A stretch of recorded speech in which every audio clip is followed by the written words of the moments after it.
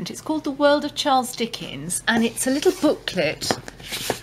But best of all, there's these four free prints. They're eight, 10 inches by 8 inches. Whoops, and they're stuck inside. Here we are.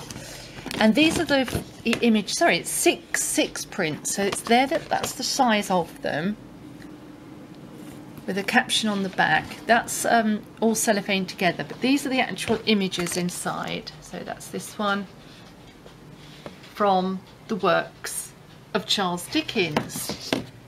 And then inside the booklet are a timeline of his written works, quotes, adaptations, the Dickens Museum,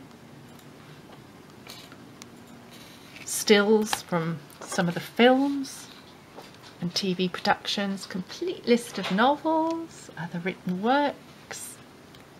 It's a really nice introduction, some very well chosen photographs, woodcuts, book jackets, sketches by Boz, and then with the colour posters as well. The whole thing was published at £9.99 and through bibliophilebooks.com, The World of Charles Dickens in this folder is just £4.50.